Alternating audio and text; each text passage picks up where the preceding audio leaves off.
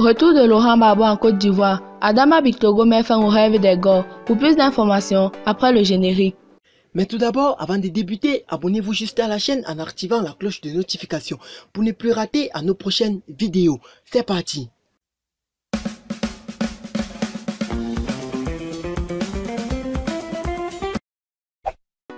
Invité de RFI ce vendredi 7 août 2020, Adama Bictogo s'est prononcé sur le retour de l'ancien président ivoirien Laurent Gbagbo en Côte d'Ivoire.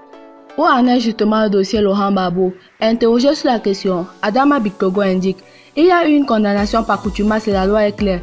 Il n'y a pas eu d'appel. Dès lorsqu'il n'y a pas eu de recours, la condamnation est exécutoire. La condamnation dans l'affaire du braquage de la BCA peut-elle conduire à maintenir Laurent Gbagbo hors de la Côte d'Ivoire Pour l'heure, je ne peux pas vous dire qu'il est maintenu à l'extérieur.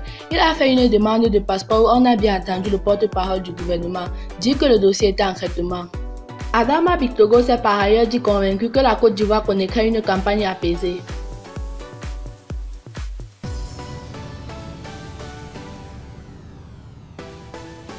Assoa Adou, après l'annonce de la candidature d'Alassane Ouattara, si on veut éviter les risques de déstabilisation, il faut laisser rentrer Laurent Babo et Guillaume Soro.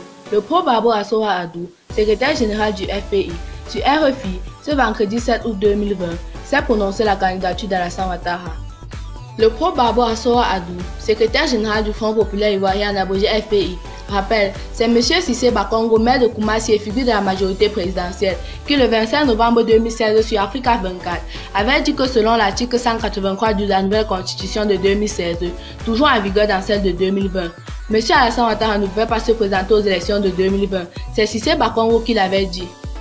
Le secrétaire général du FPI appuie son discours en citant M. Sansa Kabil, l'actuel ministre de la Justice, devant la Commission des affaires institutionnelles et générale de l'Assemblée nationale de Côte d'Ivoire. Il avait également déclaré, le 7 octobre 2016, je cite, Il est impossible à M. Alassane Ouattara de se présenter en 2020.